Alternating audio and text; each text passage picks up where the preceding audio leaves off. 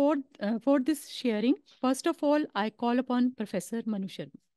Uh, मैंने जुलाई के महीने में आठ दिन का यूनिवर्सल ह्यूमन वैल्यूज़ का कोर्स किया था और उसके बाद जो बदलाव है वो मैं आपसे शेयर करना चाह रहा हूँ तो इसमें इंफॉर्मेशन और नॉलेज मिलती है आठ दिनों में पर उसके बाद उसको प्रैक्टिस में लाना पड़ता है तो प्रैक्टिस में इतना ज़्यादा मैं नहीं ला पाया हूँ थोड़ा ही लाया हूँ तो जो मैं बदलाव देख रहा हूँ, वो ये है कि एक तो मैंने अब ग्राउंड जाना शुरू किया है, अपने शरीर की तरफ़ ध्यान देना शुरू किया है, जो कि पहले मैं हमेशा चाहता था पर कर नहीं पाता था। तो चाहत वो थी पहले, पर वो इम्प्लीमेंटेशन में मुश्किल हो रही थी।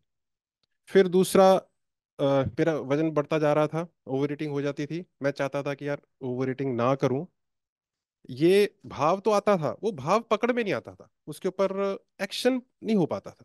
तो अब ऐसा नहीं है कि अब ओवर ईटिंग करना बंद कर दिया, अभी भी करता हूँ। पर वो जो है ना, थोड़ा कंट्रोल आया उसमें।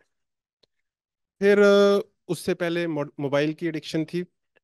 यूट्यूब पे काफ़ी वीडियोस देखी जाना, एक दो घंटा, कई बार तीन चार घंटे भी हो जाता था। तो भाव पहले भी आता था कि भाई इतना ऑनलाइन टाइम स्पेंड करना ठीक नहीं है और it's a wastage of time पर वो वश नहीं चलता था। तो अब वो भाव थोड़ा पकड़ में आया। भाव था पहले ऐसे नहीं कि भाव नया आ गया। वो भाव था वो भाव थोड़ा पकड़ में आया और अब मैं देख रहा हूँ कि जो मोबाइल पे जो यूट्यूब पे जो मैं टाइम स्पेंड करता हूँ वो कंसिडरेबली कम है। ऐसा नहीं कि नहीं करता हूँ अभी करता हूँ पर रिलेटिवली ऐसे तो वो कम हुआ। फिर उसके बाद आ, अगर मैं फैमिली की बात करूँ तो आ, मेरे को मेरा जो टीनेज बेटा है उसके उसका बिहेवियर देख के मैं बहुत अपसेट हो जाता था बहुत रिएक्शन भी आता था ये क्या कर रहा है? ऐसा लगता था कि शायद इसकी इंटेंशन ही कैसी है। पर अब थोड़ी क्लैरिटी आई है कि ये चीज़ ये चीज़ मेरे लिए बिल्कुल ही नहीं थी कि भी इंटेंशन हर एक व्यक्ति की प्योर होती है। ये मेरे लिए बिल्कुल नई बात थी। नहीं तो मैंने सोच रखा था, यार, ये गलत इंटेंशन का बंदा है। एक बाइनरी बना ली थी कि ये जो लोग हैं, ये गलत इंटेंशन वाले हैं और ये सही इंटेंशन वाले लोग हैं।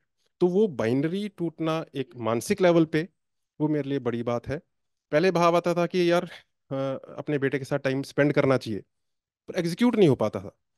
अब कुछ मैं टाइम स्पेंड करता हूँ उसके साथ spend quality time try to spend quality time और बाकी परिवार के सदस्यों के साथ भी। और रिएक्शन पहले तो रिएक्शन रिएक्टिव रहता था कि इसने मेरे साथ ऐसे किया है, अब मेरे को भी टाइम आने पे मैं भी जवाब दूँगा, मौका आने पे। तो वो रिएक्शन बेस्ड ना होके रिस्पांस बेस्ड थोड़ा सा हुआ है कि भाई आप रिएक्शन का जो है उसको रिस्पॉन्ड करें, ना कि रिएक्ट करें। और उससे ये देखने में आ रहा है कि जब हम रिस्पॉन्ड करते हैं तो दूसरा व्यक्ति भी it's just a matter of time दूसरा व्यक्ति भी रियलाइज़ करता है, यार, गलत कर दिया। तो वो प्रैक्टिकली देखने में मिल रहा है। और वो चीज़ अपने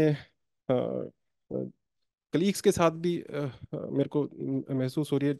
टीचर्स का, बाकी टीचर्स के साथ इतना ज़्यादा इंट्रैक्शन उस लेवल का रहता नहीं है।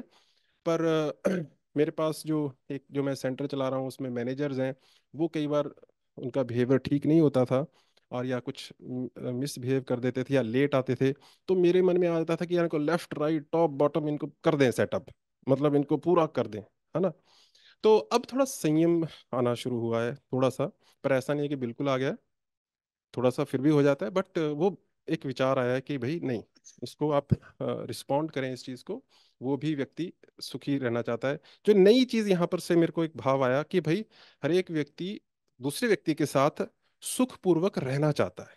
People want to live in harmony everyone तो वो एक नया भाव था और एक विचार ही मुझे लगता है कि बदलाव ले आता है। फिर उसी तरह से स्टूडेंट्स की अगर मैं बात करूँ तो स्टूडेंट्स के प्रति एक, मैंने उन्हें कहा बच्चों को कि भाई आप जो आपको क्लास में पढ़ाते हैं, जरा वो पढ़ के आया करो।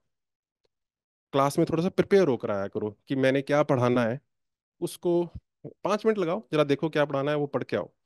तो उससे आई कुड सी कि बच्चे और अच्छे क्लास में अटेंटिव होने लग गए हैं और मेरे को भी ज़्यादा बेटर तरीके से अपना लेक्चर प्रिपेयर करना पड़ रहा है और जो जो टीचिंग का एक्टिविटी है दैट क्वालिटी हैज़ इम्प्रूव्ड अब ये जो सारी चीज़ें मैंने बताई हैं ये ऐसा नहीं है इस कोर्स में सिखाते हैं। वो कोर्स में ऐसा कुछ भी नहीं सिखाते। कोर्स में तो अ, सोचने का एक तरीका बताते हैं कि आप चीज़ को समझदारी के तरीके से एनालाइज करें। और ये चीज़ें बड़ी नेचुरल तरीके से फिर बाहर निकल के आई हैं थोड़ी थोड़ी यही मैं शेयर करना चाहता था। धन्यवाद।